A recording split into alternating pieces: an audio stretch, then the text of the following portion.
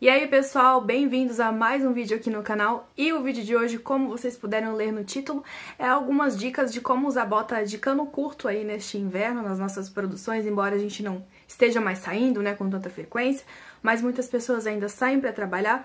E esse vídeo é uma sugestão da Aline Lopes, ela comentou em um dos meus vídeos, né, eu pedi sugestão aí de conteúdo, então este vídeo é para você e para todos vocês que têm aí uma botinha e não sabem direito como compor este look.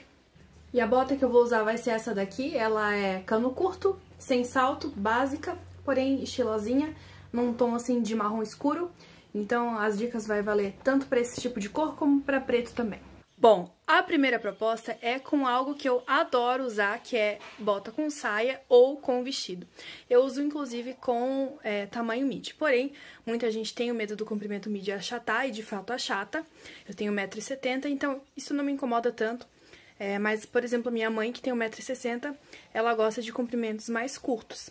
Então, uma das opções é você usar com uma sainha ou um vestido mais curto, como esse aqui, ó. Quando você deixa mais pele à mostra, é, o look fica mais harmônico.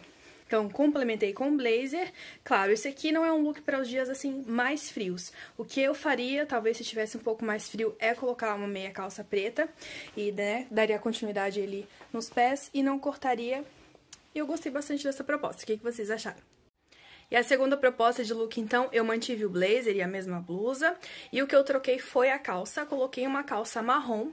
Qual é o truque aqui? Você colocar uma parte de baixo da mesma cor da sua bota, ela vai causar uma unidade e aí você não vai ficar cortada. Então, isso não vai achatar você né, dando aquela, aquele efeito visual de que você está mais longilínea. Então, ó, a, a cor da calça é quase do mesmo tom da bota.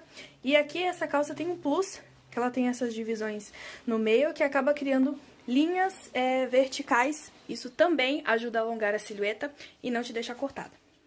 Partindo agora para nossa terceira e última dica, eu resolvi manter a parte de cima também, porque vocês podem ver que realmente as dicas estão nos detalhes, né, e na parte de baixo principalmente. Então, o que que acontece? Esse aqui eu fiz com jeans, porque é o que a maioria das pessoas usam, né, calça jeans no inverno, inclusive porque é mais frio, então ela acaba aquecendo mais. E o truque está o quê? Na barra, olha só. A diferença quando eu dobro a barra da calça e quando eu não dobro. Esse detalhezinho de pele que fica à mostra, com a nossa parte mais fina é, da perna, ajuda a fazer é, esse também procedimento de alongamento de silhueta. Claro que você não precisa dobrar tanto, aparecendo ali dois dedinhos de perna já é o suficiente, é que essa minha calça já é mais encurtada e ela tem a franja, então acabou que ela ficou mais curta ainda.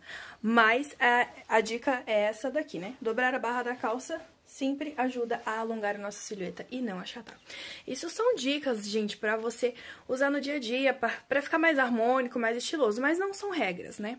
A regra é o quê? A gente se sentir bem, né? Não importa se você tá com a roupa mais bonita do mundo se você não está se sentindo bem. Então, primeiro, você tem que se sentir bem com aquilo que você está usando e é, você tem que usar a roupa, né? E não a roupa usar você. Por hoje é só, espero muito que vocês tenham gostado. Deixem também nos comentários sugestões aí de vídeos que eu posso trazer pra vocês, assim como eu trouxe este. Se vocês gostaram, já deixe o seu like pra mim, se inscreva no canal porque sempre tem conteúdo de moda por aqui. Beijão, Deus abençoe!